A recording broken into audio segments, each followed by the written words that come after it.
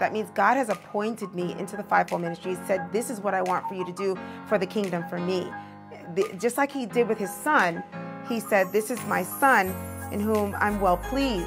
When he was old enough to uh, be baptized by John the Baptist, we, we, in the Christian faith, he was born to be the king of kings, but he was going to uh, first have a ministry.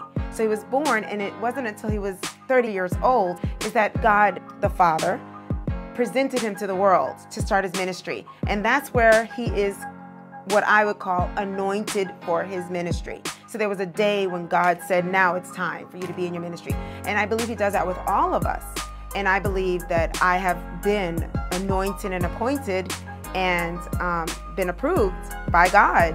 And he's called me recently to be a preacher.